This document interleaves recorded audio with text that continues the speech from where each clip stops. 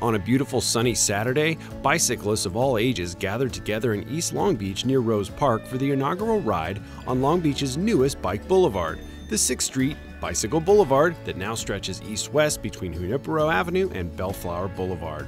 This is going to be my route to work, actually. I'm going to be commuting. I work over at Cal State Long Beach, so I will be using this route pretty much every single day. And it really improves the safety for me personally, so uh, I don't have to ride on some of those busier streets. I mean, if we can like get it so like cars, like we can make little bike paths, and yeah, it could be really safe. We put small traffic circles and roundabouts at, at many of the corners.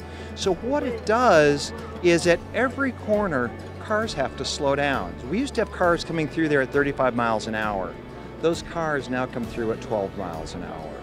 By installing a series of traffic calming and pedestrian improvements, this two and a half mile corridor is helping Long Beach become one of the most bicycle friendly cities in the country. When we build bike boulevards and we build traffic circles and we build roundabouts, what we're doing is really making the streets safer for everyone. So, one of the biggest things in conversations in our city is if we build a bike infrastructure, will they come? And the 10, 12 years I've been in Long Beach, we've noticed more people on bikes. So Long Beach uh, really embraces livability. So that's biking, walking, and swimming. People love to be outside. We have wonderful weather, and making those mobility options safe for bicyclists is really one of our goals. And it's going to be a really important connection between the downtown and Cal State Long Beach. To download a bicycle map of Long Beach, go to longbeach.gov.